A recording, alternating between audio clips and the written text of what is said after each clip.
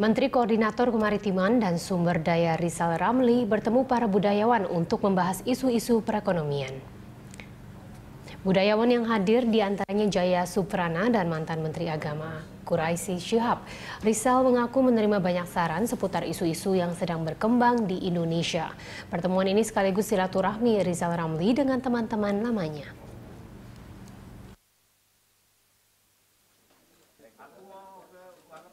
Yang latar belakangnya kalangan apa humanis, kalangan intelektual, aktivis. kalangan aktivis, ya yang biasa berbeda pendapat, biasa tukar pendapat, tapi tetap dengan satu maksud utama agar Indonesia lebih hebat, agar rakyatnya lebih sejahtera.